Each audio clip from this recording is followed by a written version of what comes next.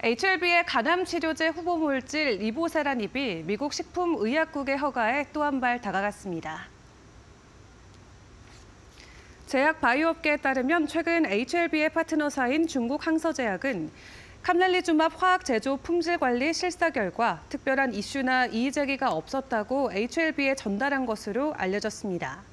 주요 관문으로 여겨졌던 캄랄리주맙의 실사가 큰 문제 없이 종료되면서 HLB가 16년간 공들인 리보세라닉과 캄랄리주맙의 간암 1차 치료제 승인 가능성이 더 높아졌습니다. HLB는 간암 치료제 1차 치료제로 품목 허가를 받으면 3년 안에 연간 수익이 2조 원이 넘는 매출을 낼 것으로 보고 있습니다.